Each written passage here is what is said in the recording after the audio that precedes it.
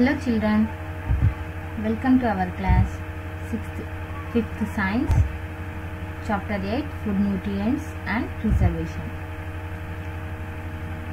Today we are going to learn another food preservation method that is sun drying. This method is one of the most traditional methods of drying. It is slow and only practical in hot, dry climates. However, it is still used today. For example, sun-dried chilies, tomatoes, etc. Bacteria, fungi and other germs cannot live without water. Some foods can be preserved by drying their water in the sun. Thus, dried food will not get spoiled easily. Sun drying is the oldest method. It is done by sun drying or air drying. It is removal of water from the food. Anything can be dried such as vegetables, dry fruits, fish or meat products. Dried products can be kept for a long time.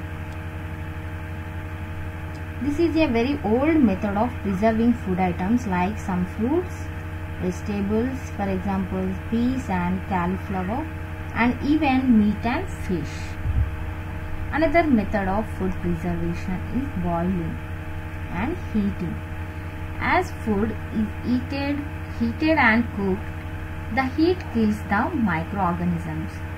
Boiling kills most bacteria. However, those not affected by heat will grow when the conditions are suitable. Do you know why milk is boiled? Bacteria and fungi cannot live in very high temperatures. When food is heated and boiled, all the germs in it are killed. That is why milk is boiled. Most of the food items are preserved by heating and boiling. Children, do you know Louis Pasteur, a French scientist, discovered a special way of preserving wine and milk by heating and then suddenly cooling them to kill the bacteria and fungi in them. The method has been named after him as pasteurization.